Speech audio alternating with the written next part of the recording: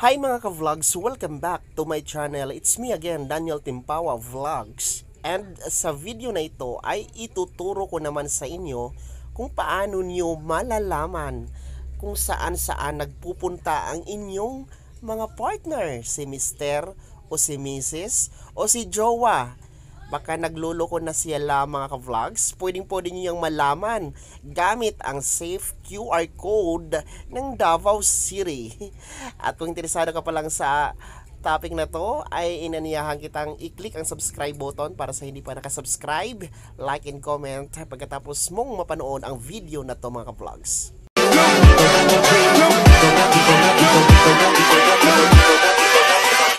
Hold up.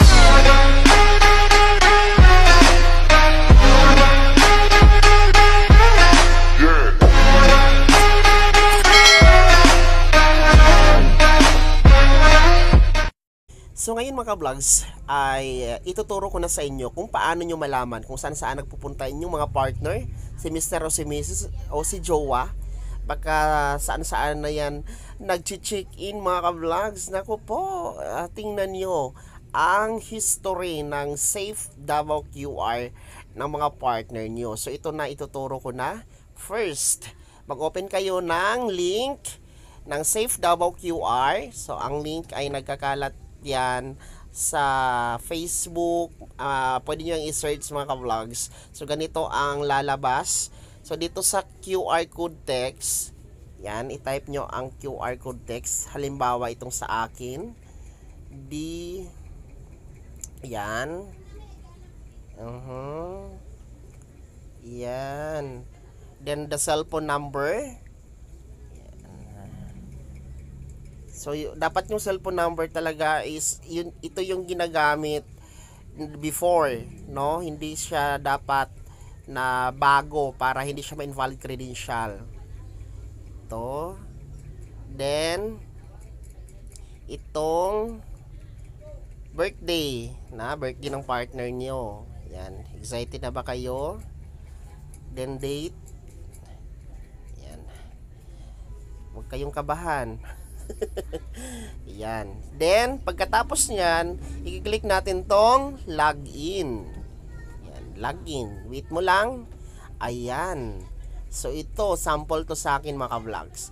So, kapag ganito ang makikita nyo, ah, dito natin titingnan kung saan-saan nagpupunta yung mga partner nyo naman. So, saan ba to hanapin? So, puntahan natin tong sa bababanda may makikita kayo na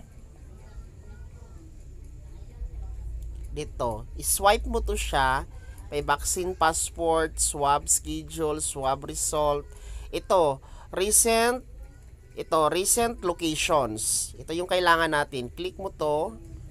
Pag click niyan, ayan, nakikita na kung saang recent location history ka nagpupunta. Gaya sa akin. Ito, pag-ibig fund. Yan, pumunta ako ng pag-ibig. Uh, office. Yan. Ito, nasa Yellowfin Seafood Restaurant. Union Bank. Uh, yan, nakikita siya mga ka-vlogs kung saan ka pumupunta. So baka yung mga partner nyo andon na sa mga motel, sa mga lodging. Tapos hindi kayo ang kasama, di ba?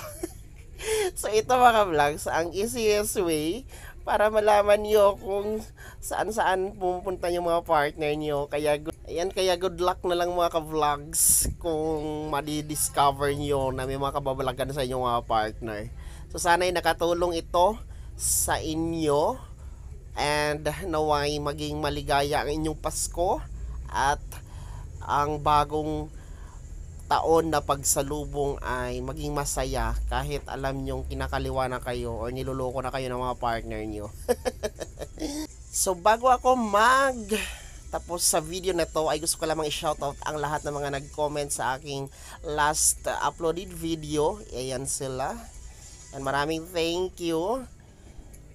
And sa mga hindi pa po nakasubscribe sa aking YouTube channel, please click na po ang subscribe button na nasa baba. Huwag kalimutang mag-like and mag-iwan ng comment para ma-shoutout naman kayo sa ating next uploaded video. Muli po ito si Daniel Timpawa na nagsasabing kung tunay kang kaibigan, please, pautang naman dyan. Bye-bye!